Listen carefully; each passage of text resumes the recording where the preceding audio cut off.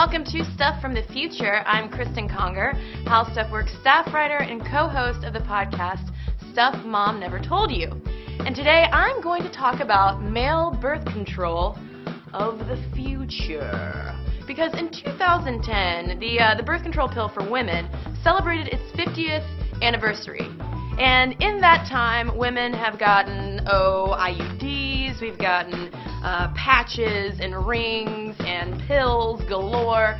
But what do guys have? Guys, today you only have five options, okay? Five options according to Planned Parenthood if you don't want to make a baby. All right? You got you got condoms, you got withdrawal, you have outer course, vasectomy, and abstinence. You have nothing in terms, aside from vasectomy, nothing in terms of a long-term birth control, and certainly nothing that is long-term and reversible. And it's not because medical researchers haven't been looking for some kind of male birth control similar to the, the pill for women, uh, but the thing is, it's taken them a little while to figure out the right way to go things were a little bit easier for trying to figure out how to um, create birth control for women because the scientists only had to control for one thing one egg every month. That's all they had to block. I liken the, uh, the quest for male birth control to something called, in my mind at least, the 120 million sperm challenge. One egg, 120 million sperm. I would rather be on that science team. Okay, that's a lot easier.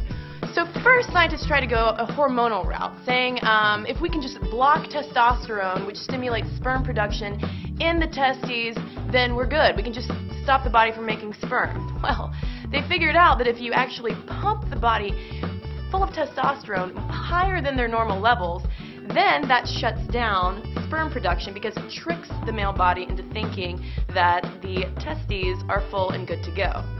But if you pump the male body full of a ton of testosterone, then you also get things like acne, weight gain, prostate growth, and uh, all sorts of just liver problems and things you don't really want.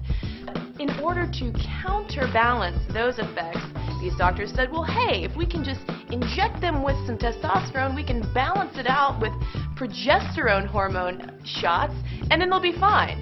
Does that sound like fun to you guys? Anyone? Do you want to get? Do you want to have implants of testosterone and then shots every month just to keep your acne at bay? No, I don't think so.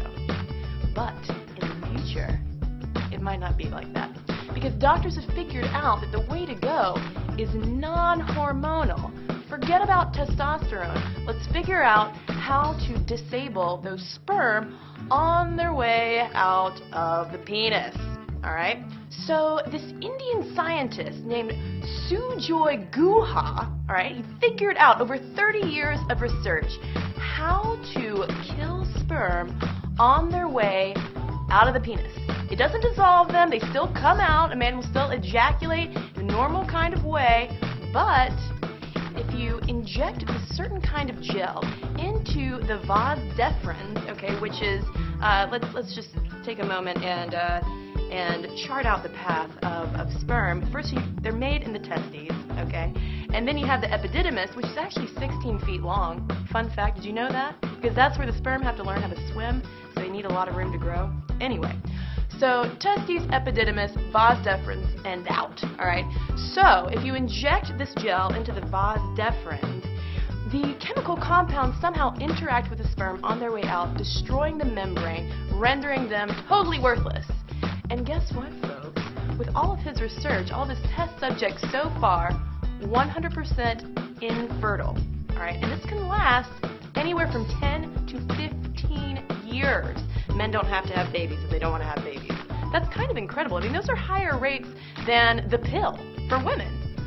Here's the downside, though. I mean, you can't you can't get this.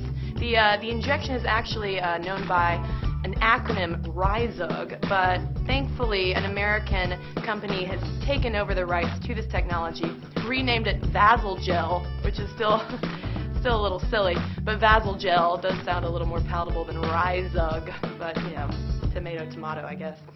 But they're having trouble getting FDA approval because, first of all, it's taken a long time to get the technology from India to the US where they can do more rigorous testing to prepare it for the FDA trials that it'll have to go through before it can reach the market. So, a company called uh, Prometheus, I believe, bought the rights to the technology, like I said, for $100,000. And their goal is to get Vasalgel onto the market by 2015. But the only thing is, Big Pharma is not a big fan of male birth control because with a lot of these non-hormonal options that medical researchers are coming up with, like Vasalgel, they last so long that it's not going to be very profitable for anyone. If you only need one injection to render yourself infertile for 15 years, and then one injection to reverse it if you decide in that 15 years that you'd like to have a baby, then they're not going to make a ton of cash as opposed to women who every month have to re-up their pill. So in the future, hopefully, maybe, uh, I don't know, male birth control and sexual health needs might outweigh profits in the pharmaceutical industry, but I don't know. Um, but keep your ear out for Vasalgel because I have a feeling that if male birth control is going to happen, that's the way it's going to go. For more on this and thousands of other topics, visit HowStuffWorks.com. And don't forget to check out our other podcasts free on iTunes.